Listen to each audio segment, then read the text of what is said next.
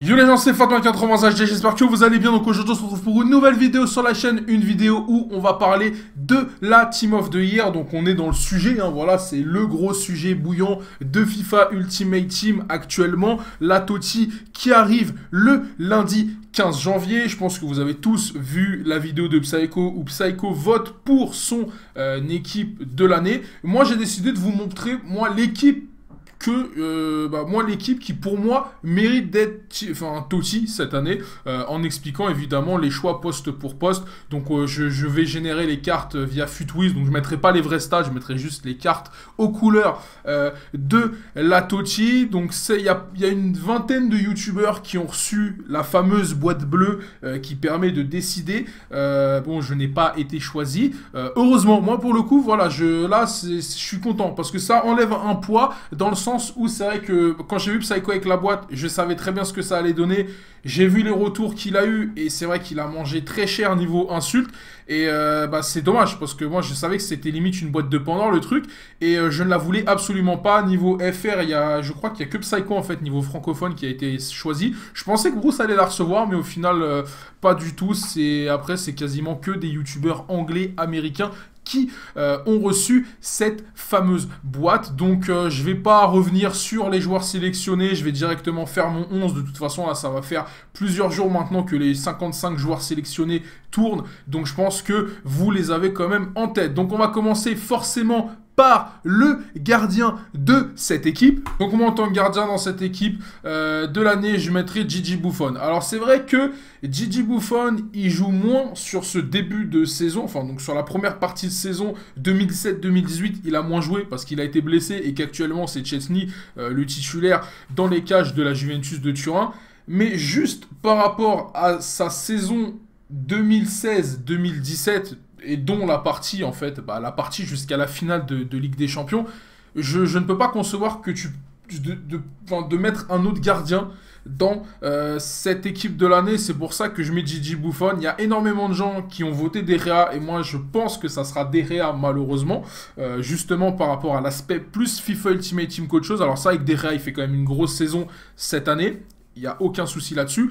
Mais par exemple, moi je pense que si les gens se basent sur le, début de saison 2017-2018, il y a un gardien qui aurait mérité d'être nominé qui ne l'est pas et qui bah, mérite pour moi plus que Derrea, ça serait un Ter Stegen par exemple.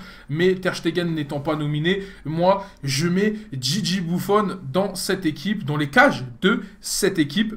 Ensuite, pour la charnière centrale, donc je vais directement mettre les deux joueurs. Je vois donc bah, la, charnière en fait, euh, la charnière que l'on s'attendait tous à voir. La charnière qui a d'ailleurs été nominée dans euh, le 11 de l'année euh, bah, lors du, du Ballon d'Or. Donc Bonucci et Sergio Ramos. Donc Sergio Ramos, je pense qu'il est vraiment indiscutable à ce poste-là. Là, pour le coup, il n'y aura vraiment pas de débat. Après, pour le poste de deuxième défenseur central, c'est vrai qu'il y a il y a débat par rapport à Bonucci dans le sens où il a été quand même pas mal en difficulté sur la première partie de saison, euh, donc sur, sa fin d'année 2017, il est, il est quand même pas mal en difficulté du côté du Milan AC, mais je pense que c'est pas possible en fait de ne pas mettre un, joueur qui a participé à l'épopée de la Juventus, en, enfin un joueur défensif qui a participé à l'épopée de la Juventus euh, lors de la finale, de, enfin lors de la Champions League.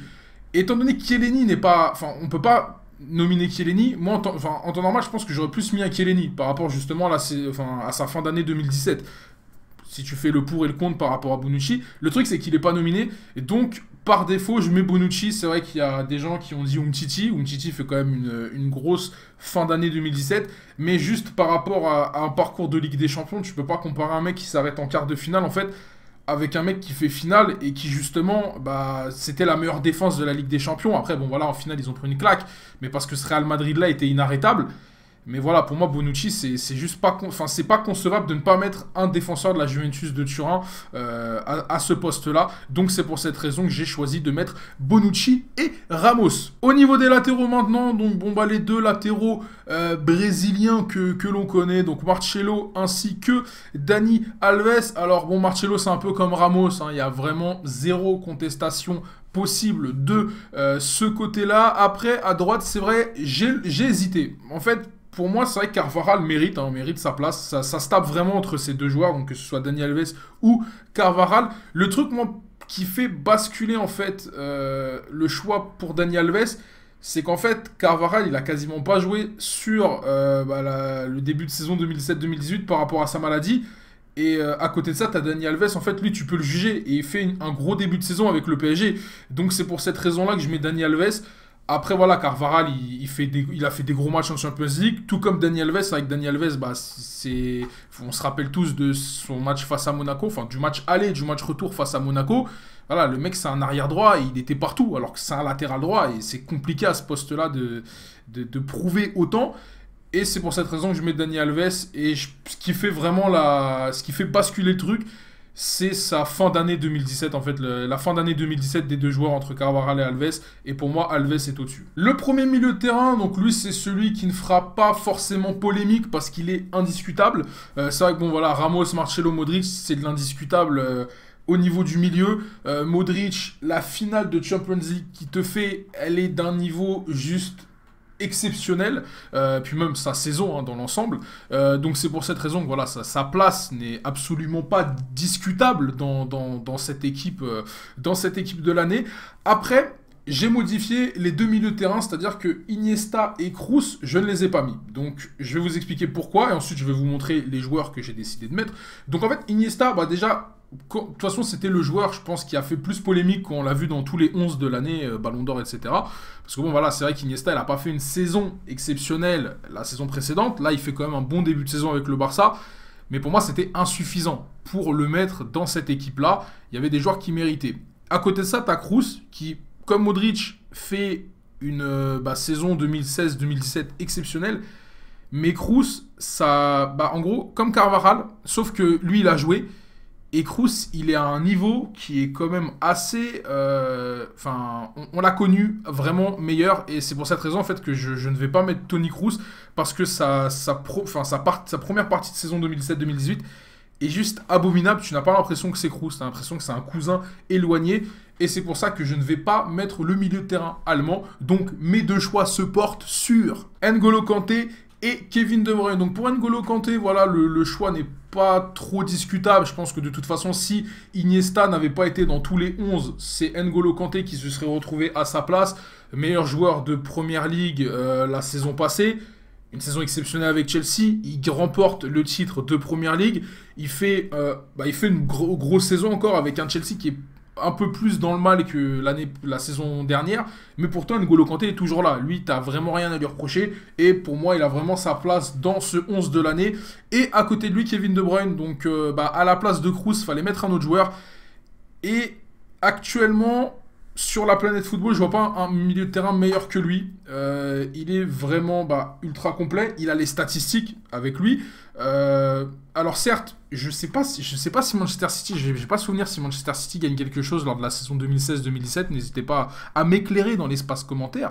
Mais euh, voilà, statistiquement, il était quand même présent. Là, bah, il fait il est euh, l'un des acteurs principaux du Manchester City qui roule sur la Première Ligue et bah, qui roule pas que sur la Première Ligue parce que même, euh, même sur la scène européenne ils sont quand même assez effrayants. Et du coup c'est pour cette raison que j'ai décidé de mettre Kevin De Bruyne dans ce milieu de terrain à 3 on va maintenant passer à l'attaque. Les joueurs qui sont généralement les plus attendus dans, dans cette équipe de l'année. Après bon là c'est vrai que si on a De Bruyne, Kanté et Modric même le milieu de terrain il va être très attendu. Surtout le Kevin De Bruyne. Je pense que De Bruyne va être Ouh là là, on va le voir partout sur FIFA. après, il faudra voir le prix parce qu'il risque d'être très cher. Mais euh, là, on passe à l'attaque. Ailier droit, Léo Messi, donc bon, euh, pas de contestation possible. De toute façon, je pense que Messi et Cristiano Ronaldo, ils sont indiscutables. Donc alors Messi, meilleur buteur de la Liga la saison passée, actuel meilleur buteur de la Liga. Euh, il est exceptionnel avec le Barça bah, à l'heure actuelle. Peut-être qu'il a une saison plus compliquée la saison précédente, mais voilà, on parle de Léo Messi, les stats sont là et tu ne peux pas, tu ne peux pas ne pas mettre Messi dans cette équipe de l'année parce que voilà, c'est c'est les meilleurs joueurs du monde. Quoi. Tu peux pas ne pas mettre Ronaldo Messi parce que c'est les deux meilleurs joueurs de, de, la planète football. Mais Ronaldo, moi, alors, il sera pas à ce poste-là, mais moi, Ronaldo, pour moi, je le mettrai en tant que buteur. Euh, donc je vais le mettre maintenant. Je le mets en tant que buteur Cristiano Ronaldo parce que en fait, euh, bah déjà, il était limite, enfin, je crois même qu'il était buteur sur la fin de sur tout ce qui était campagne Champions League, euh, là où il remporte cette, ce, ils font le back-to-back euh, Ligue des Champions et où il affiche un niveau démentiel des quarts de finale jusqu'à la finale avec je sais plus combien de buts. Enfin bref, c'était juste affolant. Certes, il est dans le mal, mais de toute façon, c'est le ballon d'or. Donc tu ne peux pas ne pas mettre le ballon d'or dans une équipe de l'année. C'est juste euh, irrationnel. Si tu fais un truc comme ça, ça ne ressemble absolument à rien. Mais moi, je le mettrais buteur parce que pour moi, il a joué buteur en fait. Là où il a vraiment été performant en 2017, c'est à ce poste de buteur. Certes, Messi. Pareil, euh, Messi, tu pourrais le considérer limite comme un milieu de terrain, parce que même si sur les compositions, il joue à droite, enfin il est affiché à droite, Maintenant, il, joue 10, toi, au Barça, il est, limite, il est limite milieu offensif. mais si maintenant, il est tout le temps en train de repiquer dans l'axe.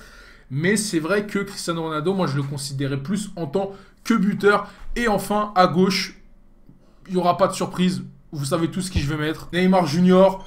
Euh, certes, ça risque d'être Harry Kane, ça risque d'être Ronaldo à gauche et Harry Kane en pointe par rapport à la Team of the Year, et c'est fort dommage. Mais voilà, tu as actuellement les trois meilleurs joueurs de la planète foot. Et c'est pas possible de pas les mettre dans un 11 de l'année. Alors certes, Neymar, sa fin de saison 2016-2017 a été compliquée avec le Barça. Même si il est l'auteur de la fameuse remontada en tant que Parisien, on va très vite zapper. Mais c'est vrai que voilà, le match aller contre Paris, même s'ils prennent 4-0, il est exceptionnel. Le match retour, c'est plus, c'est même plus un niveau exceptionnel. Il est parti chercher la victoire. Le mec, il est parti les chercher les 6 buts. Bon, c'est pas lui qui les mais c'était juste incroyable son niveau de jeu. Et là, avec le PSG, bah voilà, je, pense que tout le monde voit ce qu'il fait du côté de la Ligue 1. Le championnat semble tellement facile pour lui. Mais euh, pour moi, c'est pas, pas possible de pas mettre ces trois joueurs-là en attaque. Alors, je sais qu'Harry Kane, il a mis énormément de buts. Il termine meilleur buteur de la, sur, euh, sur l'année civile. C'est la première fois depuis je sais pas combien d'années euh, que c'est pas Ronaldo ou Messi. Mais le truc, c'est que Harry Kane, en fait, bon, il a, il a quand même, il a enfin des références européennes par rapport à par rapport à comment dire par rapport à avant parce que là ça y est il a fait quand même une grosse phase de poule justement face à Barcelone face à euh, face à euh, Barcelone qu'est-ce que je dis face au Real Madrid face à Dortmund. Il a quand même ça y est il commence à avoir des références européennes. Mais juste le fait que il a rien quoi. Il a zéro trophée tu vois. Il a il a rien du tout. Et encore cette année enfin je pense que ça risque d'être très compliqué pour Tottenham d'aller chercher du trophée.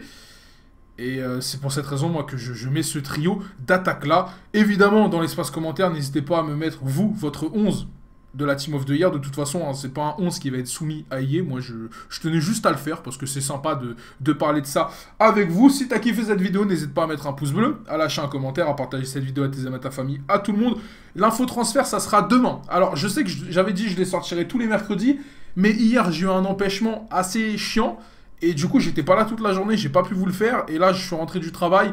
Je ne me voyais pas vous faire une vidéo d'un infotransfert qui allait durer je sais pas combien de temps. Donc, ça sera demain sans faute. Je vous dis à la prochaine les gens. Prenez soin de vous. Ciao